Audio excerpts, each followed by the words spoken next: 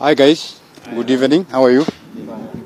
My name is Dr. Ndegwa. Yes, I am a pathologist and uh, I was representing IMLU as uh, when uh, we conducted the postmortem examination. And uh, we have done the autopsy and the findings are conclusive almost because uh, we have found that uh, Caroline lost a lot of blood internally and externally. She was about five to six week, uh, months pregnant with a male fetus. Unfortunately, I think uh, somebody mutilated the, uh, the fetus. It has no one left upper lip. It has no brain because it has been sucked out, and the brain, the, the skull, are, you know, the, flac- the bones are fractured, and uh, there is a lot of blood in the abdominal cavity, and the fetus was actually in the abdominal cavity. It had kind of uh, come out of the uterus because the uterus had been perforated at the back, a very big gaping hole, and uh, this led to bleeding. Therefore, what we are seeing is that uh, somebody, somewhere, somehow, uh, attempted to either dismember the fetus and then remove some parts, like because like the upper lip, the left, the whole of it is not there. Some parts of the bones of the skull are not there, and there is quite a lot of blood there, and he's, she's very pale. Otherwise, we also find uh, some uh, needle puncture marks on the left, uh, on the right cubital fossa, meaning that there was some medical intervention somewhere, and uh, I don't know. We have taken some test specimens. We see what kind of medicine that maybe was injected, or this or that. Therefore, uh, the cause of death to the late uh, Caroline is bleeding or hemorrhage or exsanguination due to a ruptured uterus, and this is from uh, some uh, surgical interference, which was not successful because the fetus is still mutilated. And uh, the question I think someone was asking is, how did it happen? I don't know.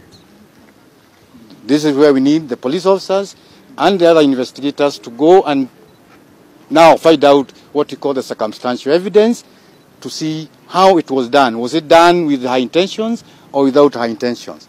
Was it done when she was uh, maybe conscious or unconscious? Okay? So we have taken some specimens to maybe just uh, rule out other chemical poisoning or anything, but uh, the cause of death is clear, is bleeding due to that ruptured uh, uterus. Are there any other physical? No other physical injuries. Apart from the needle puncture marks, no other injuries anywhere. Is there anything to show there was force maybe on her hands? Was she trying to defend I said no. No sign of uh, what you call struggle, no sign of uh, defensive injuries. Therefore, your guess is good as mine. How soon can we know? This is a conclusive report. The toxicology is just a question of uh, maybe uh, by the me to just rule out or confirm something. But the conclusion of a report is conclusive. Your other name, the full name, and then P- Peter Ndegwa, Peter Ndegwa, yes. Okay, let me ask, um, what about the wound? So in a wood. I need to first all, it's only a surgical incision which was done at the State Mortuary for embalming. No other injury I've seen. Or rather we have seen, we were so many of us, so it's not only me. And uh, the body of Caroline has told us what happened. Are there any other questions? Why did it take so long? Did you have For- disagreements? No, no, no. The, the, the problem, the, the, well, you guys, you know, you're impatient, but the dead are not impatient. They are very, I mean, they are very patient.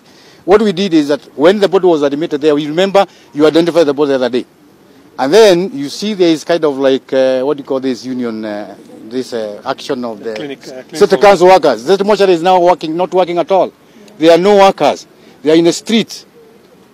So we, there is no way we can do anything there without uh, mutations. And there are no mutations. I, I don't know whether you have been there. This body, I don't know who even got it from there. Most likely, mostly the police got it out because there are no workers. And there's no hurry in these things because what we are saying is everybody should be represented. In fact, I was not happy that the, they alleged. You know, there is someone who is in because he's the doctor who did something. There is a clinic owner. Those people ideally should be represented in the autopsy. And they should be given time, enough time for them to nominate as a representative in the form of a pathologist. So I, to me, there was no hurry. And uh, you remember Dr. Dul was not around. What was the hurry for? and the body is preserved. And when it is preserved, most likely there is no other issue of decomposition, and the cause of death will remain.